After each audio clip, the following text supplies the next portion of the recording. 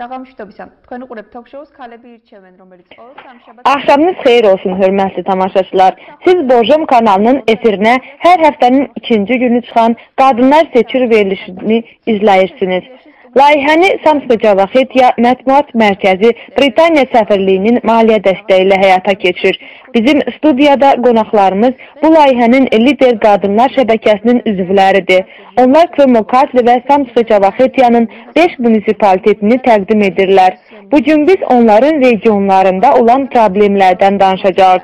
Qonaqlarımız Marneulidən Nona Samxaradze, Marina Ginosyani Minosmindadan, Səbinə Talıbova Marneulidən, Ketina Qriqalaşvili Borjomdan hamınızı salamlayıram. Studiyaya gəldiyiniz üçün təşəkkür edirəm.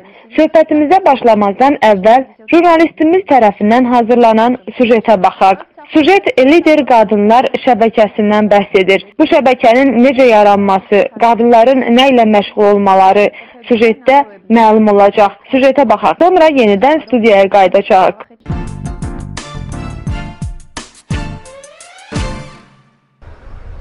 Cəmiyyətdə qadınlar hal-hazırda nə dərəcədə fəaldırlar?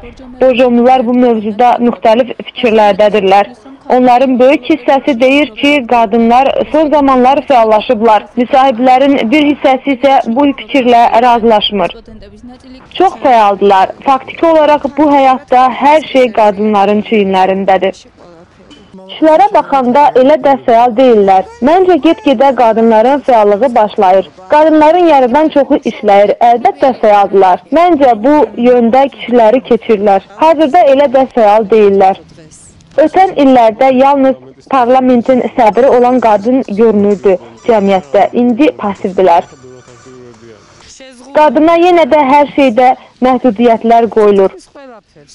Mənim çalışdığım sahədə demək olar hamısı qadınlardır. Cəmiyyətin hər sahəsində qadın fəaldır. Bizim qadınlar kişiləri keçib.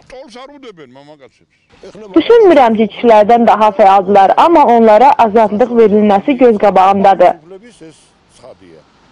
Bu fikirlərə baxmayaraq, qadınların cəmiyyətdə rolu nisbətən pasiv olduğu rayonlar da var. Qadınların nə cür problemləri var, onları necə fəallaşdırmaq olar? Bu yöndə ötən il iyul ayından qeyri-hökumət təşkilatı Samtskı Cavaxetiyanın mətbuat mərkəzi Gürcüstanın 5 rayonunda qeyri-hökumət təşkilatları ilə əməkdaşlıqla layihə həyata keçirməyə başladı. İlk olaraq bu layihəni NDI-in dəstəyi ilə başladıq. Sonra Britaniya səfirliyi ilə davam etdik. Fəal qadınlar şəbəkəsi yarandı. Qadınlar 5 rayondandılar. Borjom, Axasixi, Axalkalaki, Ninotminda və Marneulidəndilər. Onlar bircə icmanı əsasən də qadınları narahat edən problemlərə toxuna bilərlər Layihədə 5 rayondan 15 xanım iştirak edir. Görüşlərdən əlavə tok-şoular da yazılır. Jurnalistlər qadın problemlərini işıqlandırmağa çalışırlar. Xanımlar həmçinin görüşüb layihə nəzdində yaranan təcrübələrini bölüşürlər. Неожиданно э, мы открыли для себя очень много новых взглядов, новых видений э, того, какие проблемы, как проблемы, как э, женщины видят проблемы, как они пытаются их решать или, по крайней мере, оценивают. Это очень важный момент в том, что женщины реально, мы видели сегодня результаты, как женщины интересно анализируют ситуации и как они видят себя уже в процессе решения этих ситуаций. Это очень важный момент. Во всяком случае, для Марнюли это точно действительно большой прорыв. Bu mövzu ilə maraqlanan jurnalistlər çox azdır. Jurnalistləri, prodüserləri qadın problemləri ilə tanış etmək lazımdır. Xəbərlər daimi münaqişələrdən bəhs edirlər. Heç qadın problemləri irəli sürülmür. Jurnalistlər bu cür mövzuların üzərində işləməlidirlər. Amerikanın Milli Demokratik İnstitutunun NDI layihələri meneceri qadınlar seçir layihəsini bəyənərək yüksək qiymətləndirdi. Layihə artıq 5 munisipalitetdə gözəl nəticə verir. Artıq problemlər haqqında gözəl təsəvvürümüz var. Biz istəyirik ki, bu qadınlarla daha yaxından tanış olaq. Layihənin müddəti uzanmalıdır, çünki gözəl nəticələr verib. Qadınlar seçir layihəsi davam edir. Ölkənin 5 rayonunda layihə nəznində görüşlər, diskussiyalar davam edəcək. Tokşovlar da bu mövzuda yazılacaq. Hər həftə verilişləri tamaşaçılar izləyə biləcəklər.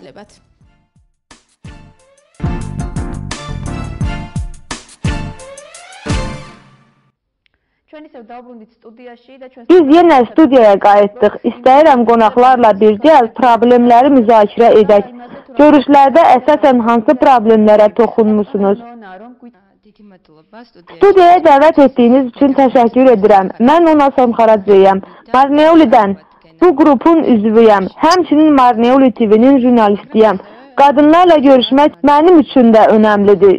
Sonra onların dedikləri mövzularda sujetlər hazırlayıram. Görüşlərdə çox problem üzərə çıxır. Marleuli xüsusi diqqət tələb edən rayondur. Marleulidə problemlər haqqında açıq danışmağa insanlar ehtiyat edirlər. Marleulidə əhalinin əksəriyyəti Azərbaycanlılardır. Mən onlarla yaşadığım üçün onların problemlərindən danışmağa hüququm var. Bizdə icma qapalıdır, dil maneəsi var, informasiya qıtlığıdır. Nədənsə bütün bunlar ən çox qadınlara təsir edir. Çünki kişilər onsuz da siyasətdə qərarların qəbulunda iştirak edə bilirlər.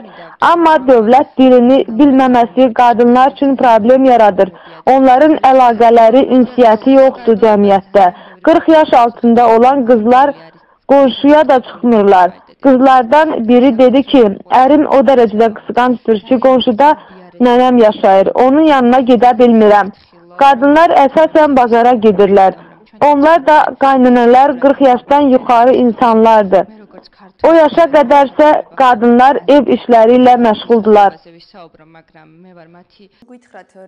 Biz Marneo'da mövcud problemləri dinlədik. Bəs Nösmindada durum necədir? Минусминда у нас немножко другие проблемы, э, традиции немножко другие у нас, женщины более открыты, семьи более открыты. Хотя я не сказала бы, что слишком, допустим, до такой степени развиты, но ситуация чуть-чуть лучше относительно э, женщин и их ситуации. Э, мы немножко в другом направлении работаем, у нас больше когда у нас встречи, начинаются разговоры о проблемах, и начинаются социальные проблемы, экономические проблемы затрагиваются, и вот э, ежедневные проблемы, с которыми чаще всего встречается женщина, мы просто даем другое направление мышления, не то, что жаловаться, а начинать самим решать свои проблемы. И вот из, из сколько вот мы встречаемся с женщинами, сколько проводим встречи, в основном проблема заключается в том, и не только женщинами, кстати, наше население, наверное, всего подсоветского пространства, я так думаю, привыкло, вот сидят, ждут, пока кто-то за них что-то сделает. И хотят сразу попасть в Европу и жить по европейским стандартам, и слишком хорошо. Но ничего при этом не делаем. Мы обычно больше э, ведем разговоры в ту сторону, что э, вот если вы понимаете, уже дошли до того, что понимаете, что вот это проблемно, то же самое, если насилие в семье, если насилие в школе, насилие над ребенком, если гендерный дисбаланс или вот э, вот те процессы, которые очень сильно влияют, э, особенно на женщин, то надо уже самим браться за эти проблемы и пытаться самим решать эти проблемы. И причем мы не отделяем женщин от мужчин, правда, надо сотрудничать, надо идти на переговоры, надо вместе решать общие проблемы. В основном работаем в этом направлении. Kargit matluba. Kalbatını Sabina. Çok sağ olun. Teşekkür ederim. Sabina Hanım, görüşlere gelmeye nece razılaştılar? Söhbetleri ne derecede samimiydi? Ну, на наших встречах с женщинами, мы, для начала скажу, какие мы проводили встречи. Мы в основном встречались в семьях и выбирали именно такие семьи, где приветствуется встреча э, и обсуждение насущных проблем. И, конечно же, там, где вторая половина этого, этой семьи, глава семьи, поддерживает э, взгляды своей жены. То есть эм, э, это делалось для того, чтобы наглядно на виду показать, что оказывается гармонично. Да, но э, именно, вы знаете, это очень редкостный показатель. Все-таки я считаю, что там, где в регионах, где компактно э, живут этнические меньшинства и не оторваны от э, идущих процессов. Э, Плюс еще э, является языковой барьер большой проблемой, когда население э, дол- должно своевременно получать э, информацию э, о вообще общественно-политических процессах и о тех приоритетах, э, которых придерживается э, государственная политика. В этих местах, в этих регионах, конечно же, сталкиваешься с, а- огромной, колоссальной проблемой того, что э, не просто даже э, где-то женщину запирают, а где-то просто нет того э, гражданского самосознания, что э, свое э, сегодняшний, свой сегодняшний день, свое будущее мы творим сами. И поэтому мы как бы делали акцент на те семьи, где все-таки есть гармонич, гармоничное согласие между мужчиной и женщиной в семье. И... Ара. Нет, конечно же, таких семей мало, но то, что э, фактически, эм, э, знаете, то, что мы их выявили, все-таки такие семьи, это для нас тоже очень большое достижение. Мы надеемся, что посредством таких семей, э, с помощью таких активных женщин мы сможем э, показать нашему обществу, вернее, привести пример нашему обществу, что женщина может, э, может э, включиться в развитие своего муниципалитета, принести пользу как в обществе, так в семье и быть примером, начиная со своей семьи для своих детей, э, со своего села, быть примером э, для всех остальных, не только женщин, для всех остальных граждан и э, стимулировать гражданское развитие. То есть стимулировать развитие гражданского общества, подключенности граждан в общественно-политические процессы. Əlbəttə ki, Cevan xanım. Bəs borcumda vəziyyət necədir? Sizi salamlayıram. Borcumda görüşlərimiz əsasən şiddət mövzusunda oldu. Məktəbə qədər müəssisələr və məktəb problemlərinə də toxunduq. Digər regionlara baxanda problemlərimiz fərqlidir. Amma bizdə də ciddi problemlər var. Bununla bağlı tokşov planlaşdırılır. Məncə orada məsələ daha ətraflı müzakirə olunar. Qrupumda şiddətə məruz qalmış qadınlar, psixoloqlar, adi vətəndaşlar var. Uşaq bağçalarında olan nasazlıqlar da, uşaqların problemlərindən də danışdıq. Bəs toqşu olaraq qonaqları dəvət edəndə necə? Gəlirlərmi, səmimidirlərmi? Qonaqları iki qrupa ayırırlar. Biri məsələlərlə bağlı qərar qəbul edənlər, onlar öncə məsələ haqqında danışmalı, sonra qərar verməlidirlər. İkincisi isə vətəndaş cəmiyyətidir. Onlar da problemi cəmiyyətdə fəallaşdırırlar. Əlbəttə, qərar qəbul edənlər kişilərdir. Amma sosial mövzularda danışmaq, məsələn, uşaq bağçaları haqqında danışmağa gəlin deyəndə onlara gülməli gəlirdi. Onlarda bu məsələyə maraq olsa da məni başqasının üstünə göndərirdilər. Bu problemin vacibliyini hiss etmirlər. Amma qadınlar bu məsələlərin nə dərəcədə önəmli, ağırlı olduğunu bilirlər. Siyasətdə qadınlar məhz bunun üçün olmalıdır. Biz qadınları narahat edən məsələlərə kişilər qərar verir. Onları bu mövzularda danışdırmaq çətindir. Bilirik ki, özünü idarələrdə kadr dəyişiklikləri oldu. Son verilişdə istəyirdim ki, bu proseslərdə qadının rolunun harda olmasını öyrənim. İcra başçısı məni əlbəttə ki, rədd etdi. Müavindən mövzunu başa salanda gülümsədi və başqa birini göndərdilər verilişə.